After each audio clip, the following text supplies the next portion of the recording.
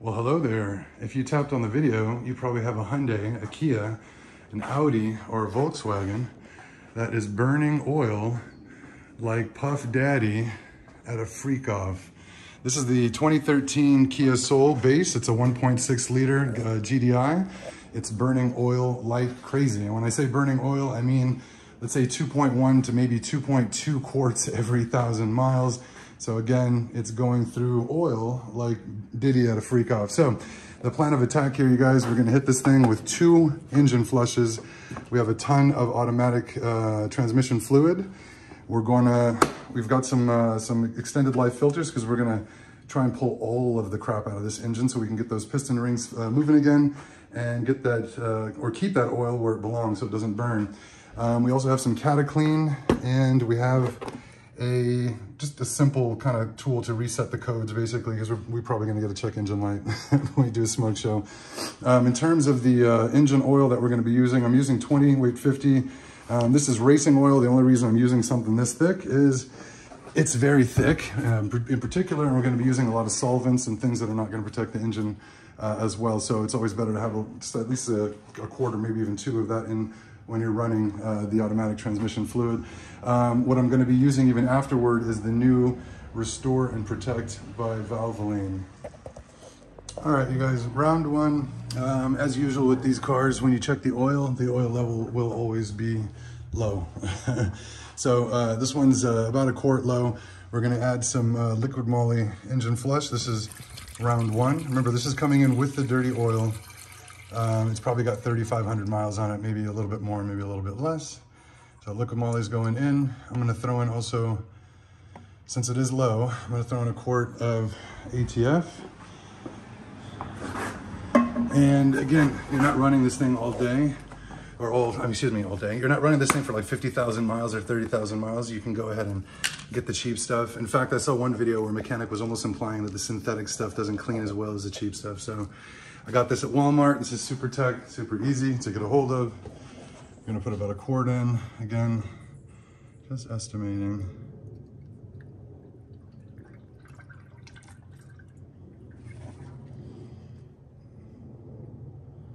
Yeah, a little bit more, just a touch. I'd say that's it.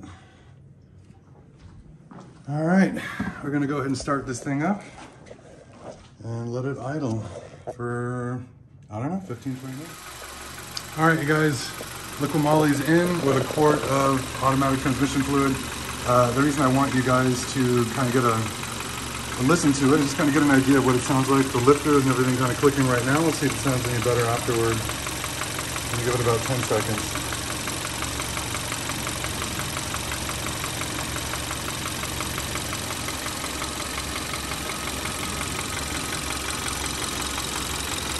Also notice that this is vibrating.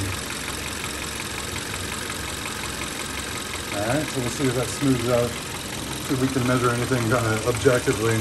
Not scientifically, but objectively. Alright, you guys, round two, the uh, engine flush and one quart of ATF with the very dirty, dirty oil has been run through and flushed. Um, this is round two now. We're gonna be doing the full three and a half quarts of uh, ATF. And this, those who don't know, is thinner than motor oil. And that's why we're not going to drive the car. But this is filled with tons of detergents. So this gives you an insane cleaning ability in a short amount of time. As long as you don't run the engine hard, you don't move the car, don't put the engine under load. So this is round two, let's go. All right, you guys, for round two, with the three quarts of ATF, we're also gonna put in about half a quart of the 20 weight 50 racing oil. Why? Because it's much, much thicker than your standard oil, so it'll support that really thin ATF as it flows through the system. All right, you guys, it's 1.03 p.m. 3.5 liters, or 3.5 quarts of ATF went in. Uh, I topped it off with half a quart of 20 weight 50, just in case. I know it's over the uh, top, but hey, we're trying to clean every part of the engine that we can. Um, it's not gonna hurt anything to be slightly overfilled. Um, anyways, yeah, we're gonna let this run for a full hour and I'm gonna come back. I'm gonna go inside, chill out, and uh, when we come back, we'll drain this thing and we're gonna do another flush with the ATF. Uh, this time it's just different ATFs, higher. This is synthetic, so we're using the standard and the synthetic. Uh, I'm even throwing in some, uh, for good measure, some uh, Honda uh, ATF basically here too. Um, once we do that, we're gonna drain that. That's round three. Then I'm gonna put in uh, some Restore and Protect. We're gonna do two cans of the valve cleaner, which is gonna dirty the fuck out of the oil. Once that oil's dirty, we're gonna drain it again. Um, and I know I'm using Restore and Protect and it's good stuff, but hey, that's what I have. Uh, the last and final round will be with the Restore and Protect with a, a fresh uh, 10,000 mile filter. And we're gonna check the oil every, probably every week, just see what happens and I'll update, let you guys know. But uh, right now, currently where the car sits, it's easily two, if not 2.2 um, quarts of oil every thousand miles. It, it might even be two and a half, you guys. It's pretty bad. Um, so we've already done one engine flush on this like months ago. Um, just ran it for the 14 minutes like Liqui Moly, you know, wants in their directions, and it didn't do a damn thing for us. So um, just gonna do it this time. It's a lot more aggressive and a lot more thorough and just give it some time. We're not at a, uh, an, uh, know, an oil change place, so we can take our time. Anyways, we still got a lot of stuff here in the arsenal, and uh, we're planning to use it all. Um, if I can, I'm gonna try and use this somewhere in the mix. If not, I'll save it for one of our uh, other cars, basically here. But definitely another round of ATF. Um, we're gonna do uh, some restore and protect. We're gonna clean the valves, drain that, then we got the last and final fill up with some restore and protect which we're hearing nothing but uh, very good stuff about. If you're not familiar with this stuff, this will clean uh, the engine and restore it, supposedly, to factory conditions in terms of sludge and cleanliness. Uh, and what we're shooting for here is to clean these very stuck and caked up piston rings so the thing stops burning oil. So they say within uh, four oil changes, and they're usually short-term um, oil changes on these, so 3,000 miles. So let's say within 12 to 15,000 miles, you know, let's say within a year of driving, you can get your car supposedly to factory spec. So we'll see. Um, either way, at least there's something on the market that, that's shooting in that direction. So I'm glad to try it, glad to have it. All right, you guys, this is draining the first full fill of ATF. Um, anybody who's seen automatic transmission fluid before, you know it's pretty clear and it's pretty red. This is after idling the car for exactly, we'll call it 61 minutes. And here we go. Let's drip it below. Come on. There you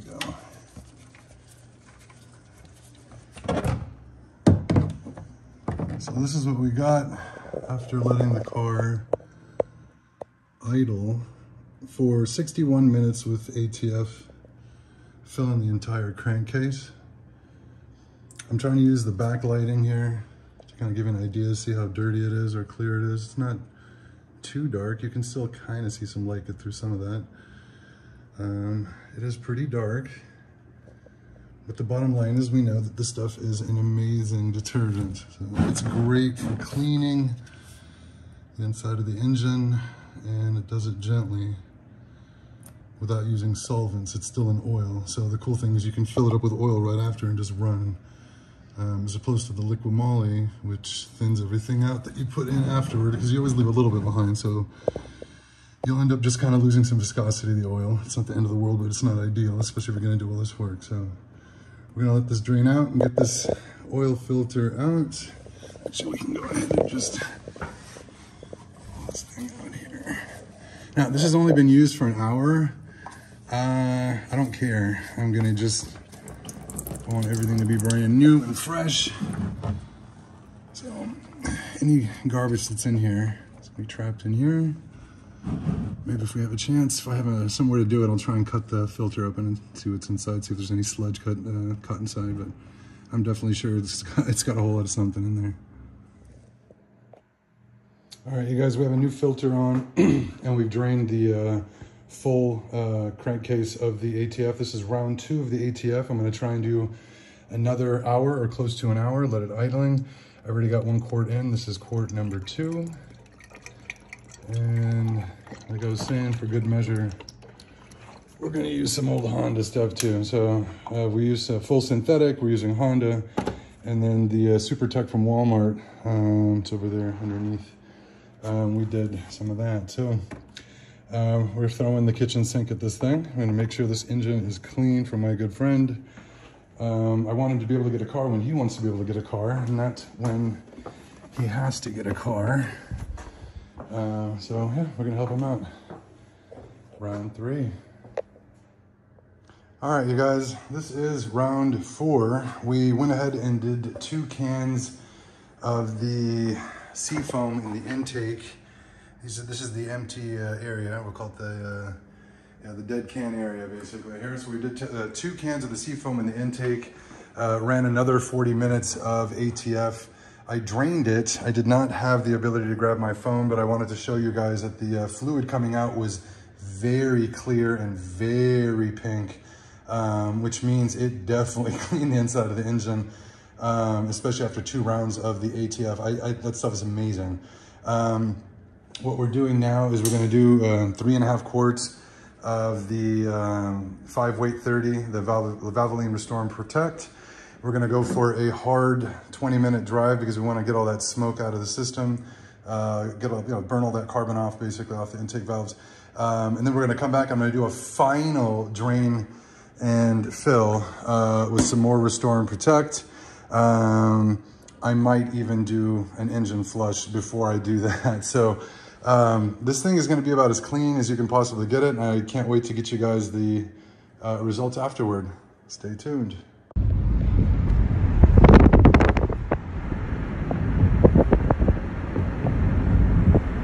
Big bogged down, man. I had to slow down because it feels like in a stall.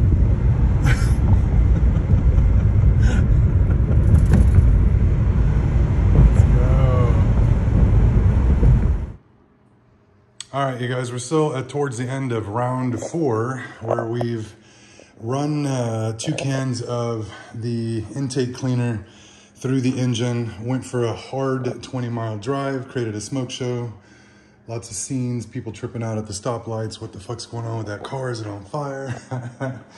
so anyways, uh, since we ran all the smoke through, uh, I wanna go ahead and clean it, uh, clean that oil out or just drain it out. And I'm even gonna change the filter since I have um, one extra one left. Since I have an extra can of engine flush, I think I do. Yep. I'm gonna go ahead and just even run this through too. I don't even care. So we're gonna do one more engine flush, drain the oil, and then refill it with the 5 weight 30 Restore and Protect by Valvoline. Um, as far as the directions say, even from Liqui Moly, you do not need to do a sacrificial oil change, you guys. Um, I think that's more myth than anything. Um, even if you don't, we're still gonna be using the Restore and Protect. I might throw in some uh, 20 weight 50, maybe half a quart or a quart on top just to thicken the oil, give it a little bit of resistance basically there. But um, yeah, we're gonna do the uh, engine flush, um, sacrificial engine flush we'll call it, and then just drain this and fill it up, finish it up. Round four, coming to an end. Right, this is round four, second engine flush for the day going in.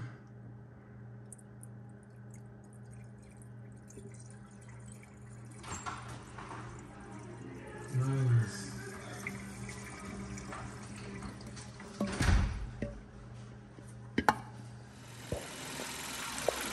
Just to take a video, guys, uh, this is what it sounds like now as it idles after, uh, well, it's the end of round four. So the uh, little box here in the corner seems like it is vibrating maybe a little bit less. It's still shaking. You can see. Still have that direct injection clicking, obviously.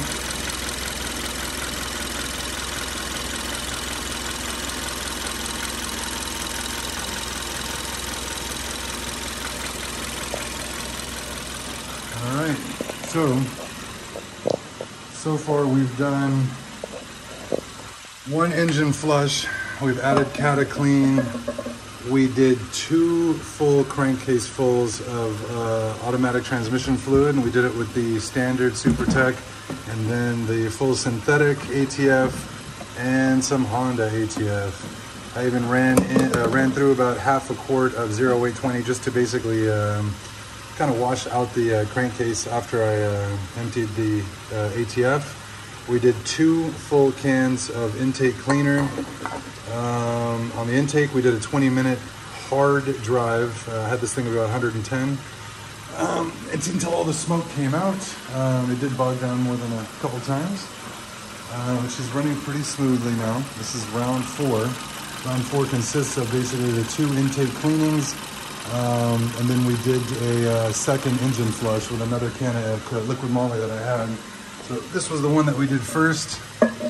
And this is round four because I had it left and uh, why not? Nothing exceeds like excess, especially when you're dealing with an engine that's dirty.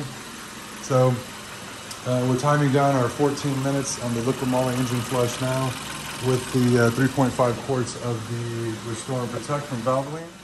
So the question now, ladies and gentlemen, is do we fill the crankcase with Valvoline 20 weight 50 or do we go with the 5 weight 30 Restore and Protect? I think the Restore and Protect is probably going to be better to clean overall. I'm probably going to go that and then just fill it up with uh, 20 weight 50 if it burns off. And I will report back